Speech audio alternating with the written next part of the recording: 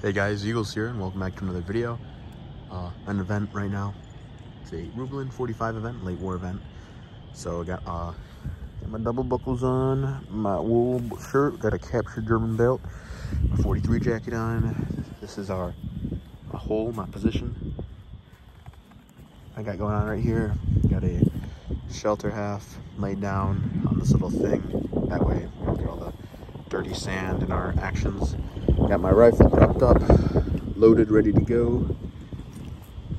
Sitting here, definitely gonna have to clean it because I got a bunch of sand from, you know, the sandy dirt that we got going on here.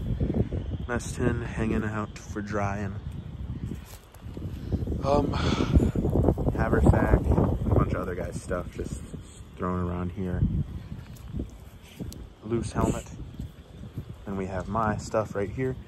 Got my haversack opened up, I need to get stuff out of it. Jeep cap, cartridge belt, my gas mask bag, bandolier ammo, and uh, yeah, cartridge belt. Got my ammo in my pockets, because I've been traveling light when we go out for combat.